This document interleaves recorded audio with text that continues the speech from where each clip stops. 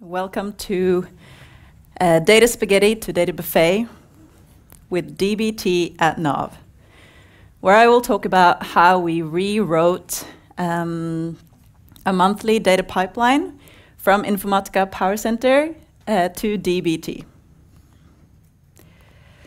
My name is Caroline Winther. I'm a senior data engineer at NAV uh, since 2020.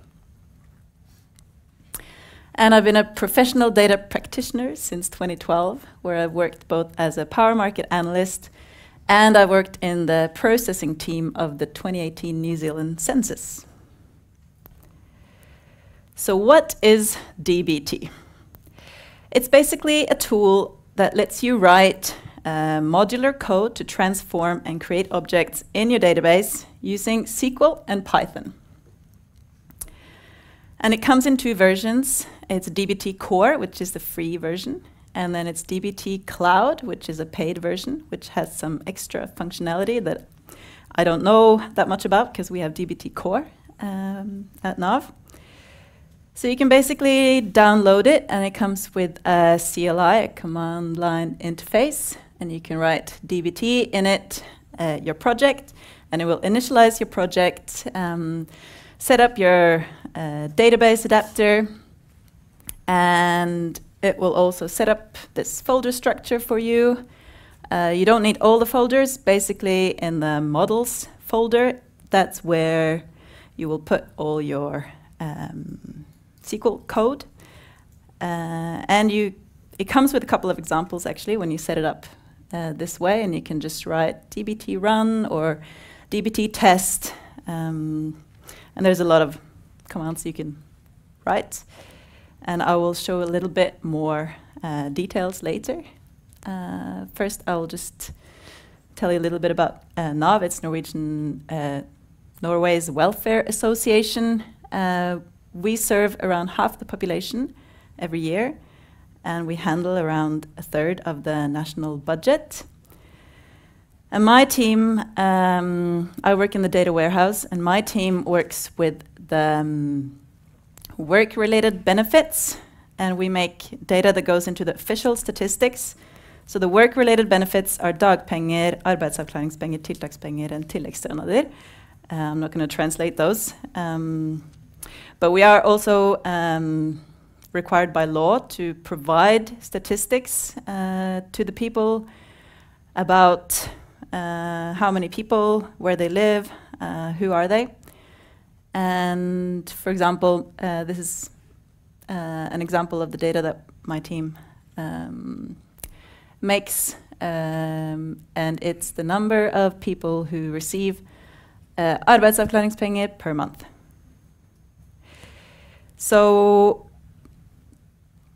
my team, uh, we have um, inherited a lot of uh, um, data pipelines that uh, some consultants built a long time ago, uh, and they're written in Informatica Power Center, which is a graphical drag and drop um, tool. And that's all fine, mostly because it's, uh, it was running every month without problems. But uh, in March 2023, we got a request uh, to rerun every month between 2010 and 2020, um, and that's 120 months. Um,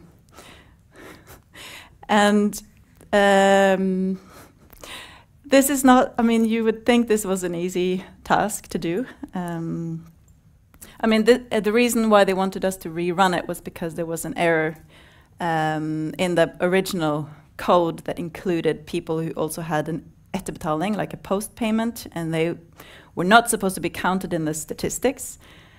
But uh, they were, and they had been post processing and trying to remove them, but they actually wanted the data to be good, which is fair enough.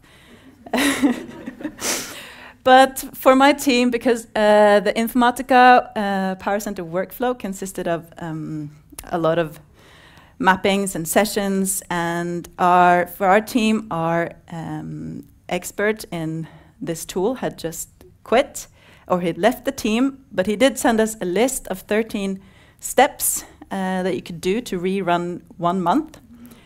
Uh, so 120 months with 13 manual steps, and I calculated this would take one developer around eight weeks just to do this task.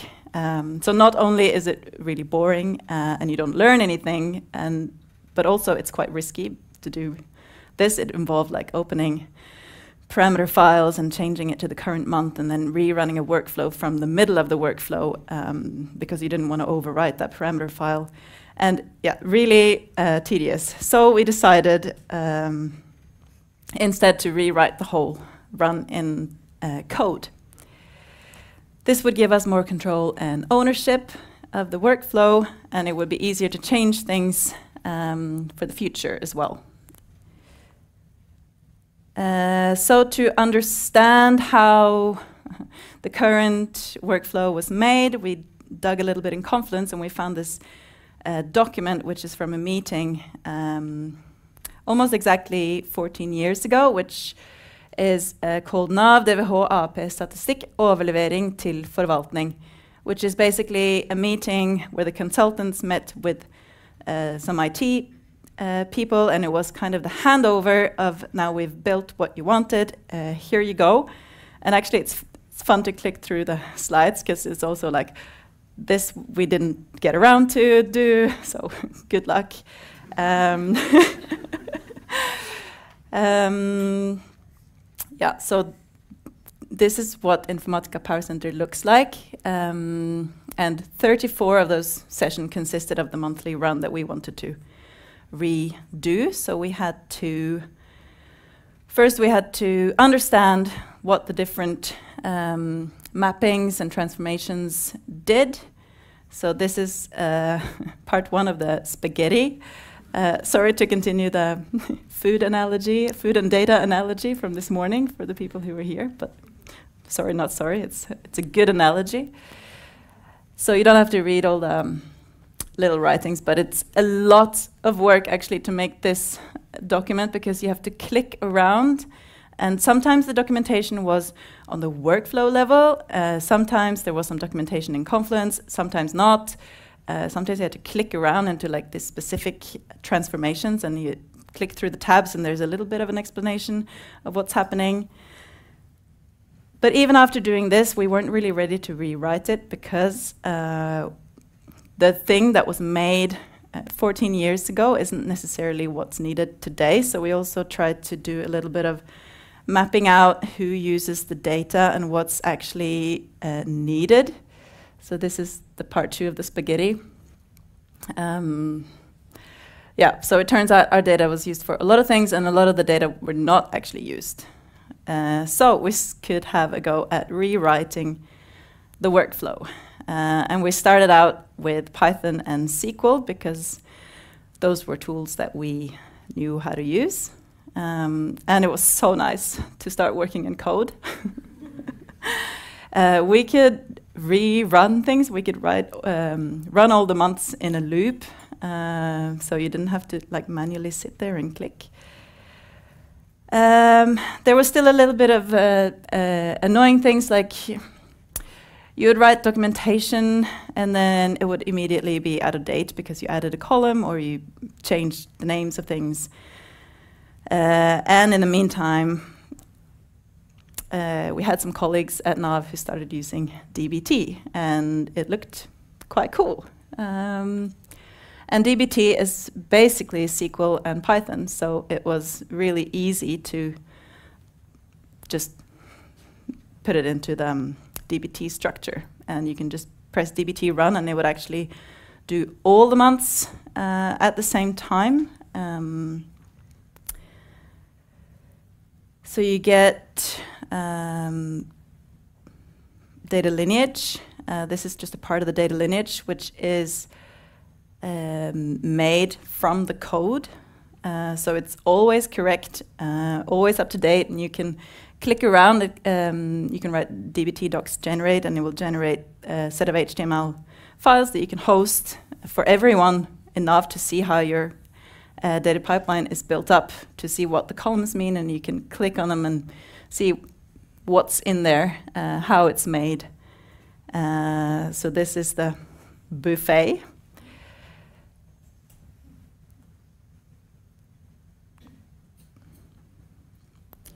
So here's a little bit more details about what DBT looks like. Um, so you have the models folder, which is where you put your actual SQL code. Um, and DBT has like a lot of documentation about how you should do things, uh, what's a good idea. Like obviously all the projects are uh, different, but they recommend uh, dividing up your models in intermediate or staging, intermediate, and marts. Staging is basically the source near data, and then the intermediate is where you do like your joins and your heavy um, heavy work, and then the marts is what you actually share to the users.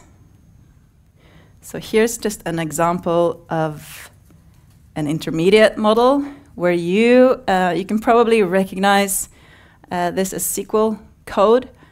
Uh, so you basically you reference your source um, data or your stage data, stage Faksta and others are source data. And uh, the curly brackets is like DBT uh, templating syntax. So you reference another another model, and this is also how it makes your data lineage for you. And you can put uh, you can make macros um, if you need to. So we have this uh, macro that looks at what um, environment you're in, if you're in uh, dev or prod. And yeah, so you write, this is a common table expression, a CTE in SQL. So you, and then you just aggregate, you see who's had a payment uh, each month, and you get the latest row, so you can count how many people receive money each month. Uh, it's not that complicated, um, but it actually it it's this is a little bit simplified, and there are a lot of models um, because you have to pull in a lot of sources and do a lot of lookups. But it takes we run it uh, every month in Airflow, uh, and it takes uh, 34 minutes. So this I would say is a pretty big improvement from eight weeks. Oh. uh, so we're pretty happy about that. Um, and it's been running for hmm, maybe half a year now, and we've been running both uh, models uh, or pipelines in parallel. But actually, last week we finally we turned off all the 34 sessions in Informatica Power Center. So that was really nice. Um, yeah. So another uh, thing in data engineering or data warehousing is how to handle changes in your source data over time. Uh, so, for example, uh, you have your source system, and it has a vedtak ID, like an uh, ID of your case, and a status, and a date uh, when it's updated, or timestamp. And the next day, um, or this is the 1st of October, the 2nd of October, the status has gone from pending to approved, and it's overwritten in your source system.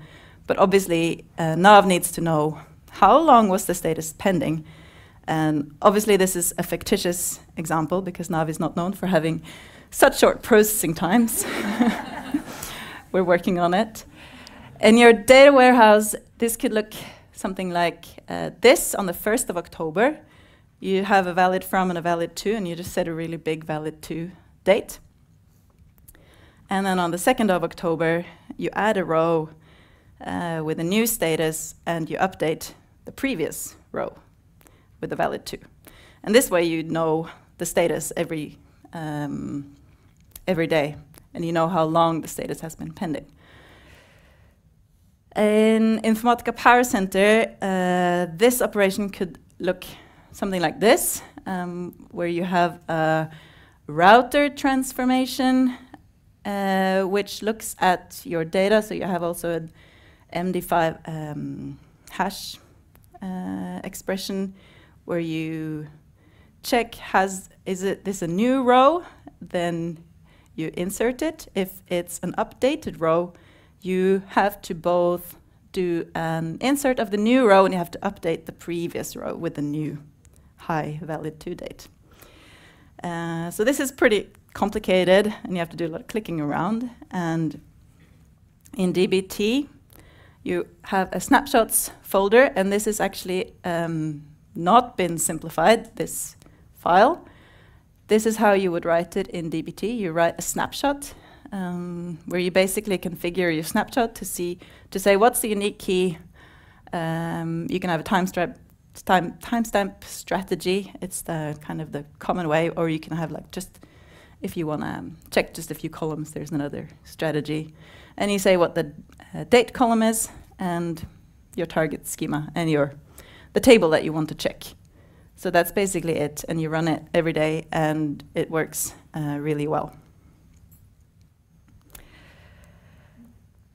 So uh, this is my last slide. Um, I don't think I have to convince you guys that uh, code-based is better than the click-based tools, but there is still a little bit of work to do at NAV. Um, but the reasons why it's better, I mean, there are many reasons that you can. Uh, my team is now able to change things. We can add columns. We can change the names of things.